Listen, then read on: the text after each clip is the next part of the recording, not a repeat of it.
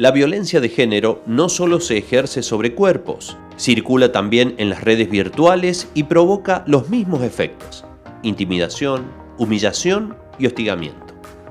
En estos momentos de preeminencia de lo virtual en las relaciones educativas y laborales, la violencia de género se puede ejercer a través de comentarios, chistes o ilustraciones con connotaciones sexuales reiteradas y constantes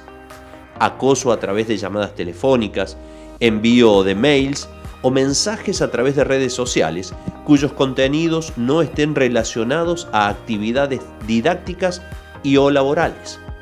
Manifestaciones de patrones estereotipados, íconos o signos que transmitan y reproduzcan dominación, desigualdad y discriminación. Si en estos días te encontrás con algunas de estas conductas enmarcadas en las relaciones laborales o docente-estudiante en el ámbito de la Universidad Nacional de Río Cuarto, podés solicitar asesoramiento al correo electrónico consulta.violencias.unrc.gmail.com